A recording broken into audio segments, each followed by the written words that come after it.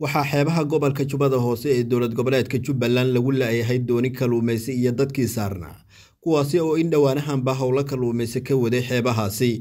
balse aysan dib u soo laaban dadkaasi sida ay wararku sheegayaan iyadoo dhinaca kale eheladooda ay walaac xooggan ka muujiyeen badqabka dadkaasi iyo doontii ay saarnaayeen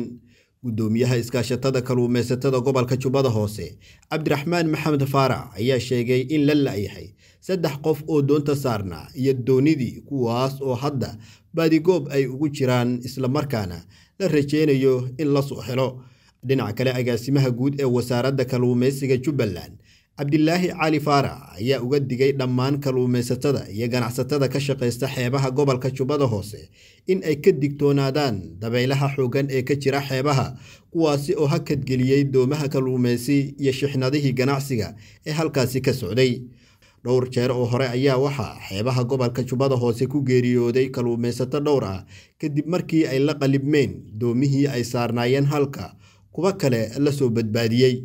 Cabduqaadir maxamed c b a. Magaalada muqdisho